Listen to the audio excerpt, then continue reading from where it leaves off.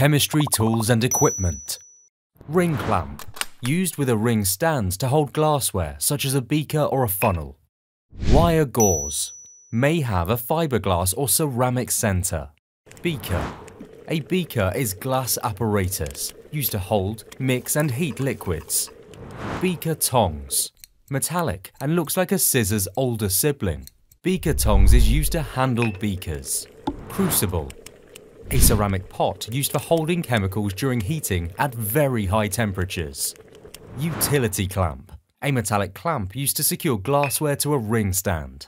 Burette, a long glass graduated tube with a tap around it. A burette is used for dispensing an accurate volume of a liquid and measuring its discharge. Conical flask, also known as the Erlenmeyer flask, is a glassware that has a narrow neck that expands towards its base. It is used to hold and mix chemicals.